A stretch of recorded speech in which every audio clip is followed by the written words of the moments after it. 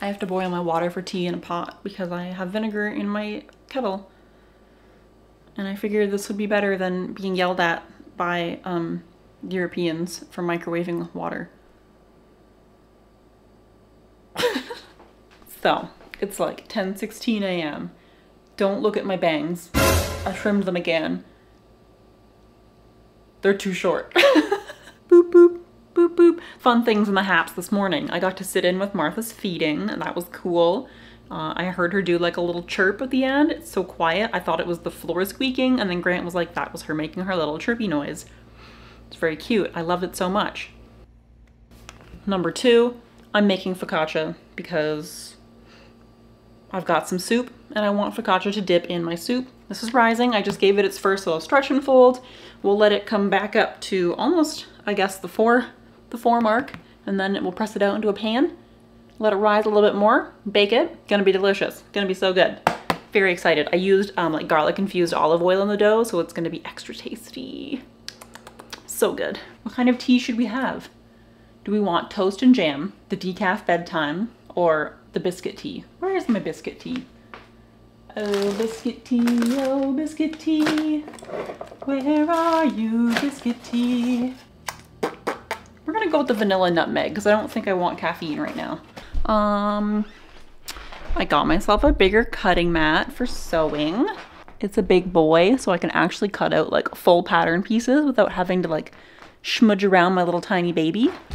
I bought a little cart to put my sewing machine and like sewing stuff on so that I can wheel it out of the way and put it away when needed so I'm not just taking up the entire dining room table, you know?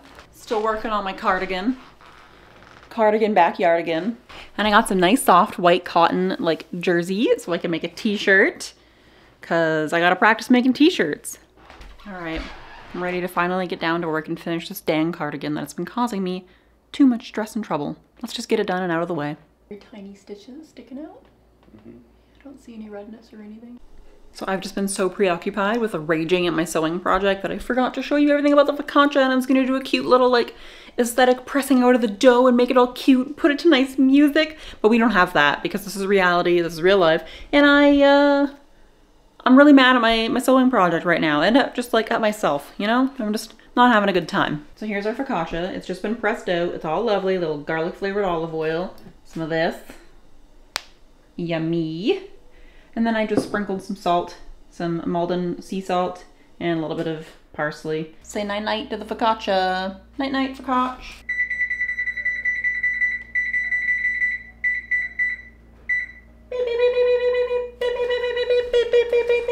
The focaccia is done. It's looking great. I think it was in the oven for just a tiny bit longer than I initially would have would have liked, but I had to go and help Grant outside with Martha. There's a really cool thing that happens if they get like a bent tail tail feather, which like is common and it just kind of happens to their tails. You literally just take like almost boiling water and you just pour it over the feather and it completely rights itself. It's very, very cool. Here's our focaccia. Wow. This block of cookie dough it's like a, a cocoa sablé with pistachios in it. This is from Christmas. So this is pretty old, but I kind of want to slice a few and bake it and see if it doesn't taste completely like fridge, then I have some cookies, and how fun is that? So we just made these bomb-ass sandwiches on some focaccia, and we just made some like frozen buffalo chicken tenders and put some Gouda cheese and some like blue cheese dressing and then a little bit of like whatever the salad is that my husband was eating. I put that on top. Um, I don't know how good it's gonna be or if these ingredients will even do justice to the delicious homemade focaccia. Uh, I'm gonna take a huge bite. The bread is still warm. if you totaled it all up, I wonder how much time in my videos I spend just like eating food. I hope it's a lot. all right, I'm about to go try a cookie from Christmas. They look okay. They don't look terrible. I guess my concern though is that the nuts maybe like went rancid in the fridge. Didn't think about that until just now. It was at this moment that he knew. He fucked up. Doesn't taste good. that does not taste good. to the bin they go. Oh, I wish I had ice cream. Alas, I do not. No ice cream for me right now. What I do have is cookie dough. I don't have cookie dough. Did Grant eat it? He ate the cookie dough? Hold on. Hold the frick on. The cookie dough was gone from the fridge.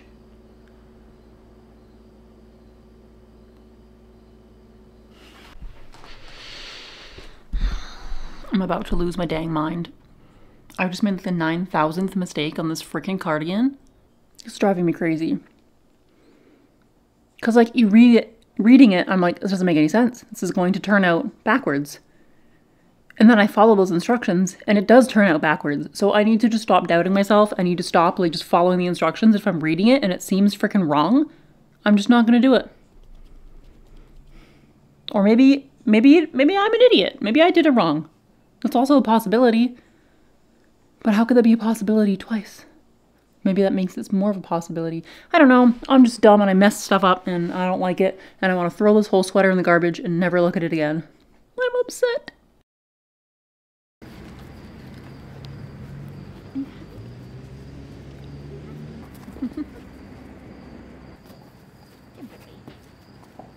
oh, stole your ball. You're never gonna get it back. Grant scolded me for trying to do too much too soon on my sewing machine. And he was like, Sounds like you need to stick to more basic fabrics. And I was like, You know what? You're right. I don't want to hear it though. Because this is soft and nice, and this is what I want to wear. How dare he be right? Alright, now we have to bust out our handy dandy seam ripper. And let's freaking go to town. I can't even see the threads. Literally can't see the threads at all. Where are they? As soon as I turn on the camera, I like completely, my mind just blanks and I don't know what I'm saying or what I'm talking about. it's almost 6 a.m. It's the next day, of course. Just got back from a walk with the dogs. Just walking the dogs, feeling like I'm in the Blair Witch right now.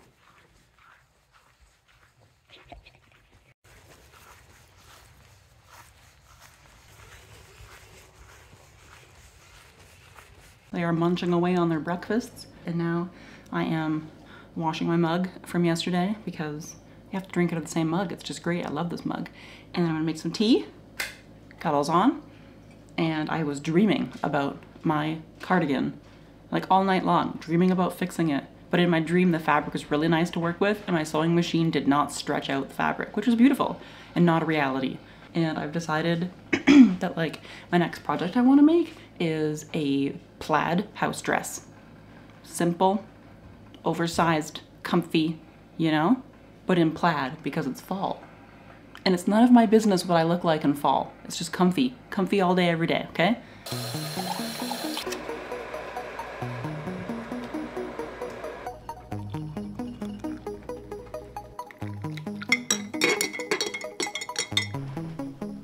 Time to work on this cardigan from hell.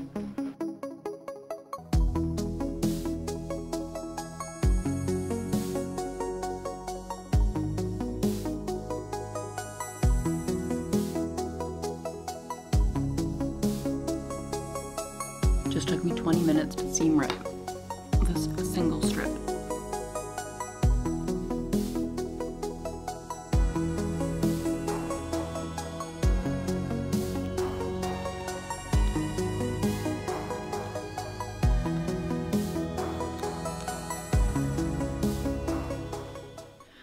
Okay, it's time to do a try on of my cardigan that I have just been completely avoiding putting on because I know it's going to be so stretched out because I just struggled a little bit. So I know it's not going to be great, so I've just been avoiding trying it on ever since I realized everything was getting real stretched out.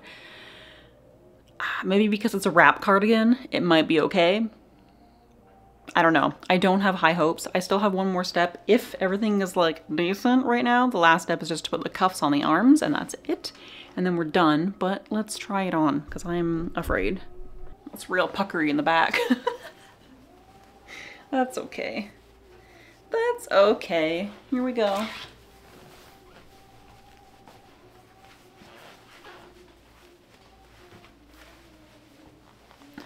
Oh, she real stretched out. Also, this happened in my mock-up as well as the final version. I thought maybe I just didn't measure something correctly, but it's like, I, I followed all the instructions for the right size, and I cut out all the right size pieces. So what am I what am I supposed to do with that? I don't know. I'll tuck it in or I'll just figure out something with it. How bad is it out of 10? Like a 12? Can I pass it off as a wearable garment? I mean, I'm totally still gonna wear it, like out in public and everything, as like a reminder. This is where I began. These are my beginnings of sewing again, you know? I can't really tell. The viewfinder is very small. I need to go look in like a real mirror. So I'm probably just gonna continue with it. Put the arm thingies on. But what a cozy morning. Just like starting sewing in the dark with my little light on. I've got like some oldies playing in the background. It's very, very cozy. I'm enjoying my morning a lot. Here goes nothing. How's Martha? Good. Did she jump far? Not far, but she jumped high. For once. Oh. I've been making her. I've been trying to get her to like jump out Yeah. and low. She's never like jumped up, and now I just got her to jump like from the table up to like here. Cuff number two, done. This one seems to be a little bit better in terms of puckeriness. But who knows? Who cares? Do my sleeve lengths match? They do! Cute. Cozy. Nice. Well made? No. Watching Beatrice Caruso videos and assembling my sewing cart.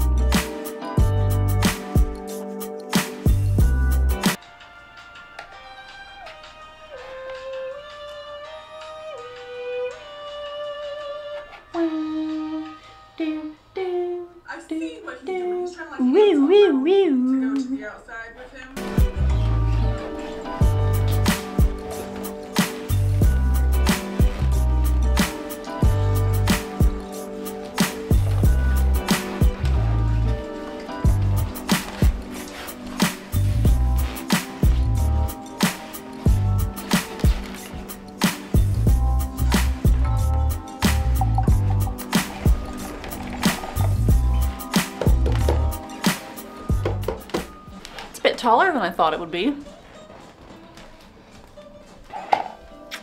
So here we have our little rolling cart for all my sewing stuff.